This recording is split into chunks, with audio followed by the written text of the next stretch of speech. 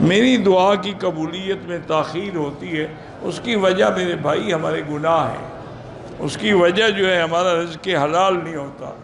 बहरहाल आप मांगते रहें, वो मालिक हैं, जब चाहेंगे दरवाजे खोल देंगे। वो तो जानवरों की भी सुनते हैं तो आखिर हमारी भी सुन लेंगे मैंने उम्र का दबाव किया, सफ़ा मरवा सात चक्कर किए, लेकिन मरवा की जगह पर कैंची से थोड़े बाल काटे, बाद में मैंने आराम खोल दिया। तो वाकई ऐसा हुआ है, अगर आपने सिर्फ़ टक लगाए हैं तो दम पड़ गया है। कहते हैं कि एक औरत सत्तर साल उम्र है, लेकिन बालों को काला रंग लगाती है, मकसद सत्तर साल की उम्र में भी उसका फ़ैशन का शौक अभी ख़त्म नहीं हुआ। अब कब्र के ज़माने हैं कि काला रंग लगाने के ज़माने हैं? बहरहाल, अगर लगाना चाहे, काला नजायज़ है, काले के अलावा और कोई रंग लगा सकती है। मुझे याद है, मेरे वालिद साहब रहमत ने, उनके जो शेख थे ना, वो हज़रत खलीफा ग़ुलाम अहमद दीनपुरी थे, रहमतुल्लाह अलैह। वो बड़े लोगों में थे अल्लाह वाले भी थे अलिया अल्लाह में से भी थे और मुजाहिद भी थे। कुफ़ार के ख़िलाफ़, अंग्रेज़ों के ख़िलाफ़ उन्होंने जिहाद किया। बड़े लोग थे बहरहाल। तो वाले साहब कहते हैं, मेरा हज पर आने का इरादा था और मेरे पास पैसे भी नहीं थे। मैंने सोचा, अब नीयत कर ली है तो चलो, अल्लाह मुसबाब है, पहले अपने शेख के पास जाके दुआ तो करवा लूँ, इजाज़त भी ले लूँ।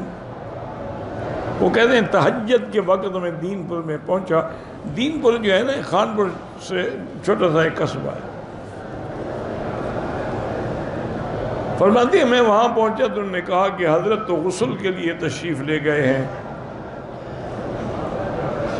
हज़रत को ज़िक्र अल्लाह की इतनी हरारत थी कि उस ज़माने में जब पानी पर पट, यानी पटड़ी जमी हुई है ना तो वहाँ भाई ठंडे पानी में गसल करता और मलमल का कुर्ता पहन ज़िक्र अल्लाह जो है ना इसके अंदर बड़ा कमाल है। फरमाते हैं मैं आया तो हज़रत के को खच्चर था बग्घी बनी हुई थी उस पर बैठे हुए थे वापस आ रहे थे। मैंने जब देख लिया, मैंने कहा, अबू, खैर उम्मत हो। मैंने कहा जी, कैसे आए? मैं कहा तो हज पे जा रहा हूँ। मैंने कहा, इजाज़त भी ले लूँ, दुआ भी करा लूँ। तो मैंने ये नहीं कहा कि मेरे पास पैसे नहीं हैं या हैं। तो हज़रत ने अपनी दाढ़ी पकड़ी। दाढ़ी पकड़ी और कहा कि, अल्लाह, ये सफ़ेद हो गई अब इसको काला न कर रहा मुझे शर्मिंदा न कर जेब से शायद एक रुपया या कितना था निकाला। कहने के खैर मोहम्मद अब तो मेरे पास यही है, यही रख लो। तो सफ़ेद बाल तो शान है, इज़्ज़त है, वक़ार है।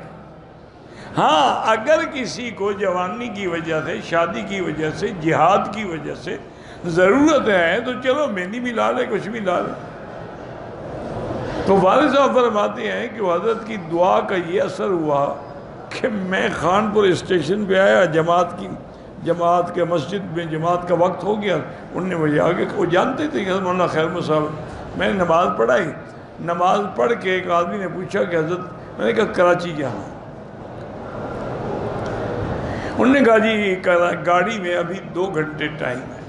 अगर पंद्रह बीस मिनट आप दर्श दे दें वाज साहब को तो खैर वजीफ़ा था, वैसे भी दर्श देते थे। हज़रत फरमाते, मैंने दर्श दिया। मैं जनाब वहाँ स्टेशन पे आया वो मुझे वेटिंग रूम में ले गया। बड़ा ज़बरदस्त उसने नाश्ता रखा हुआ था। उन्होंने कहा, हज़रत, ये आपकी कराची की टिकट है और वो मैंने आपके लिए फ़र्स्ट क्लास में रिज़र्व करा दी अल्लाह के बंदे मैंने कहा, उन्होंने कहा, हज़रत, मैं कोई हूँ, कहीं से हूँ, कुछ हूँ। आपकी खिदमत में अल्लाह मुझे इतना हिस्सा डाल दे वो कहते हैं, जनाब, हम सारी ज़िंदगी फ़र्स्ट में नहीं बैठे थे। फ़र्स्ट क्लास में बैठ के कराची आ गए। कराची स्टेशन पे उतरा तो मैं हैरान, परेशान खड़ा हूँ। कभी ज़िंदगी में कराची नहीं देखा था। और देहात के लोग तो वैसे परेशान हो जाते थे ना। कहते, मैं सोच रहा अब क्या करूँ? कहाँ जाऊँ? न कोई घर है, न दर है, न होटल के पैसे हैं। कहा मैंने ये सोचा कि किसी मस्जिद में जाता हूँ, किसी मौलवी को मिलूँगा। इतना तो करेगा ना कि मुझे मस्जिद में ठहरा दे। कहते, मैं खड़ा था कि एक आदमी आया, उसने आगे मुझे हाथ से पकड़ा, कहा सलाम वालेकुम उनके बारे उन्होंने कहा, आप हज़रत यही खड़े रहे। मेरे मेहमान हैं, जिनको मैंने इसी ट्रेन से रिसीव करना है। आपने यहाँ से नहीं हिलना है। थोड़ी देर के बाद मेहमानों के लिए मुझे भी लिया कि चले मेरे साथ। आ गया तो उनकी तो गाड़ियाँ, शाड़ियाँ, कारें खड़ी थी। वो मुझे घर ले आया, खाना शाना खिलाया। पूछा ही नहीं भाई आप कौन हैं? क्यों हैं? मैं, मैंने भी नहीं पूछा कि हज़रत आप क्यों मुझे ले आए? कहते हैं कि शाम को मगरब की नमाज़ का वक्त आया तो उसने कहा कि, हज़रत तो आप मुसाफिर हैं। जुहर असर को तो मैंने तकलीफ़ नहीं दी आपको। अब मगरब तो आप पढ़ा सकते हैं। वाल साहब ने मगरब की नमाज़ पढ़ाई वाल साहब अल्लाह ने आवाज़ दिया था, कुरान जब पढ़ते थे तो दुनिया बिल्कुल बाद लोग तो वो नमाज़ में गिर जाते थे। इतना अल्लाह ने आवाज़ नमाज़ ख़त्म हुई तो वही साहब खड़े होने का हज़रत मेहरबानी करके आधा घंटा दर्श दे दे। कहते, मैंने दर्श दिया। फिर ईशा का वक्त होने का, यार ईशा भी हम मौलाना के पीछे पढ़ेंगे दो रकात खड़े होकर पढ़ लेंगे और क्या हो जाएगा? मैंने ईशा पढ़ाई फिर वो ये घर ले गए। उसने कहा, जी, मेरा नाम हाजी मूसा है। ये जो बैरी जहाज़ चलते हैं ना, शिपिंग कंपनी है, इसमें मैं आधे का हिस्सेदार आपने कहा, मैंने कहा, हज, में उन्होंने कहा, बस आपके हज का सारा इंतज़ाम मेरे जिम्मे हो गया।